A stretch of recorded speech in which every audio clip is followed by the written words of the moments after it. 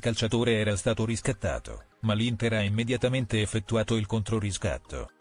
Ecco i dettagli. È un nome che piace molto in Serie A, in particolare al Genoa con il quale l'Inter sta chiudendo l'operazione Giuseppe Martinez e ha dei discorsi avviati per Albert Gumdunson.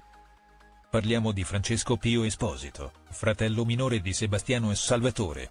Sebastiano è ancora di proprietà dell'Inter mentre Salvatore non più ma ha condiviso quest'anno proprio l'esperienza allo Spezia con Francesco Pio, un attaccante già ben strutturato e di grandissime prospettive. Non a caso è nel mirino di alcuni club di massima serie, come appunto il Genoa. Lo Spezia aveva un diritto di riscatto che ha esercitato, lo stesso però ha fatto l'Inter con il controriscatto, come riportato da Città della Spezia. Com.